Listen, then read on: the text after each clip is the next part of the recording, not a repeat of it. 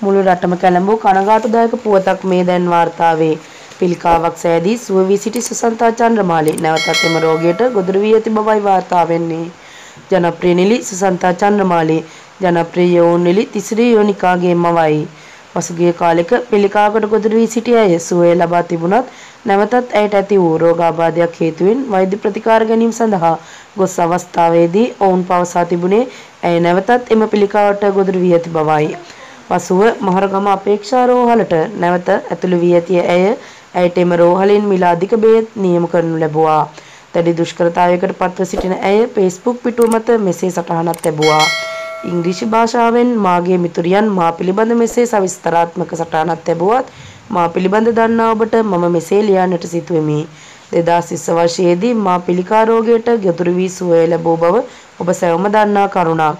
2023 වර්ෂයේදී පැවති පරීක්ෂණ වලින් නැවතත් මම මෙම රෝගයට ගොදුරු වී ඇති බව දැනගන්නට ලැබුණා.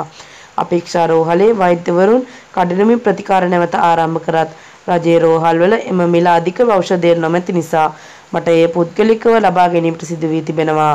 එහෙත් මට එය සිතාගත් ගැනීමටවත් නොහැකි මුදලක් නිසා ඔබටත් එම සත්ක්‍රියාවට දායක වීමට හැකිනම් දායක වන්නයි ඉල්ලා සිටිනවා. මම සුසන්තා චන්ද්‍රමාලි. සුසන්තා චන්ද්‍රමාලි අති දක්ෂ රංගන ශිල්පිනිය.